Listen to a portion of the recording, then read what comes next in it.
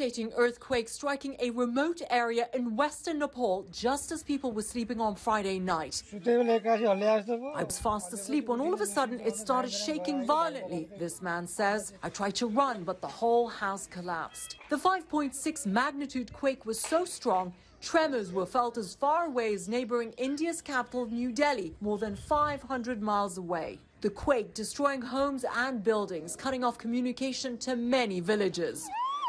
Rescuers rushing to the area using helicopters and ground crews. People were even digging with their bare hands, hoping to find survivors. But access to some areas was difficult. The earthquake triggered landslides blocking off roads. So the prime minister announcing medical personnel and supplies were being flown in to reach the injured. Residents, now terrified of sleeping indoors, are spending another night in the open. Earthquakes are common in the mountainous country. In 2015, a 7.8 magnitude earthquake killed about 9,000 people and damaged roughly 1 million structures. Lama Hasan, ABC News, London.